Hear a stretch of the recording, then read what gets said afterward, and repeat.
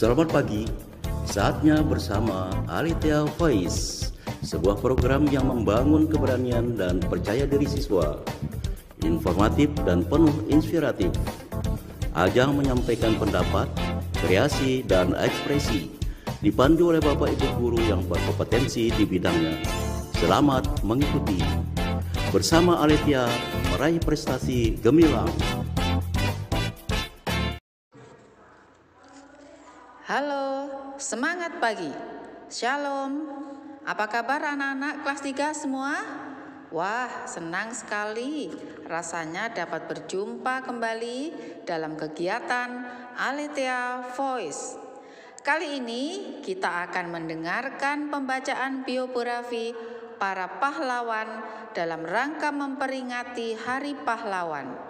Tujuannya adalah membangkitkan semangat kepahlawanan bagi generasi muda agar dapat menjadi anak-anak yang berprestasi, penuh semangat bagi nusa dan bangsa.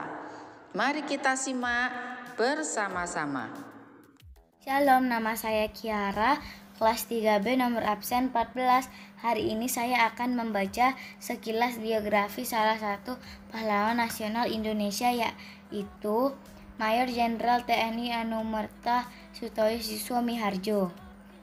Beliau adalah seorang perwira tinggi TNI AD yang diculik dan kemudian dibunuh dalam peristiwa gerakan 30 September di Indonesia. Sutoyo Siswa Miharjo yang lahir di Kebumen, Jawa Tengah 28 Agustus 1922 termasuk ke dalam salah satu pahlawan revolusi 1965. Kehidupan awal Sutoyo Siswa Miharjo menyelesaikan sekolahnya sebelum invasi Jepang pada tahun 1942. Dan selama masa pendudukan Jepang, ia belajar tentang penyelenggaraan pemerintahan di Jakarta. Dia kemudian bekerja sebagai pegawai pemerintah di Purworejo namun mengundurkan diri pada tahun 1944. Karir militer setelah Indonesia merdeka tahun 1945, Sutoyo bergabung ke dalam bagian polisi tentara keamanan rakyat atau yang disingkat dengan TKR, Cikal Bakal Tentara Nasional Indonesia. Hal ini kemudian menjadi polisi militer Indonesia. Pada Juni 1946, ia diangkat menjadi ajudan Kolonel Gatot Subroto. Komandan polisi militer, ia terus mengalami kenaikan pangkat di dalam polisi militer. Dan pada tahun 1954 ia menjadi kepala staf di markas besar polisi militer.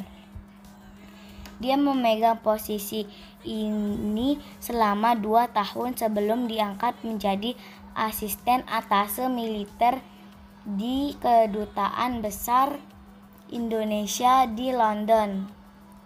Setelah pelatihan di sekolah staf dan komando Angkatan Darat di Bandung, dari tahun 1959 hingga 1960. Ia diangkat menjadi inspektur kehakiman angkatan darat kemudian karena pengalaman hukumnya pada tahun 1961 ia menjadi inspektur kehakiman jaksa militer utama. Kematian sama seperti pahlawan revolusi lainnya Sutoyo Siwo Miharjo meninggal saat terjadinya gerakan 30 September 1965. Pada dini hari tanggal 1 Oktober 1965, anggota gerakan 30 September yang dipimpin oleh Ser Sersan Mayor Surono masuk ke dalam rumah Sutoyo di Jalan Sumenep Menteng, Jakarta Pusat. Mereka masuk melalui garasi di samping rumah. Mereka memaksa pembantu untuk menyerahkan kunci. Masuk ke rumah itu dan mengatakan bahwa Sutoyo telah dipanggil oleh Presiden Soekarno. Mereka kemudian membawanya ke markas mereka di lubang buaya. Di sana, dia dibunuh dan tubuhnya dilemparkan ke dalam sumur yang tak terpakai. Seperti rekan-rekan lainnya yang dibunuh. Mayatnya ditemukan pada 4 Oktober dan dia dimakamkan pada hari berikutnya. Dia secara anumerta dipromosikan menjadi mayor jenderal dan menjadi pahlawan revolusi. Sutoyo Siswa Miharjo meninggal di lubang buaya.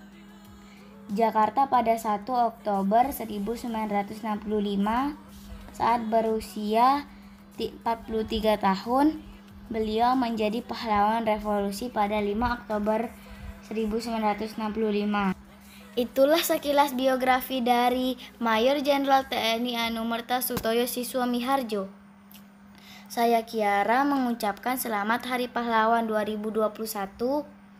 Pahlawan di hatiku. Terima kasih. Shalom. Nah, bagus bukan? Cintai dan teladanilah perjuangan para pahlawan. Terus berprestasi untuk membangun nusa dan bangsa. Yureka Aletea.